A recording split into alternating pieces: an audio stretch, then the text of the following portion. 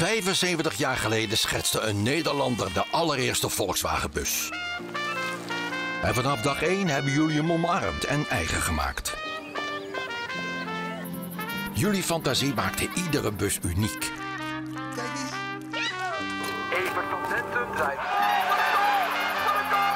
De bus werd vaak veranderd, maar compleet opnieuw uitgevonden is hij eigenlijk nooit. Tot nu. Nieuwe elektrische ID-bus. Benieuwd wat jullie er de komende 75 jaar mee gaan doen. En voor alle harde werkers is er nu de nieuwe elektrische ID-bus Cargo. Ontdek hem nu op volkswagenbedrijfswagens.nl.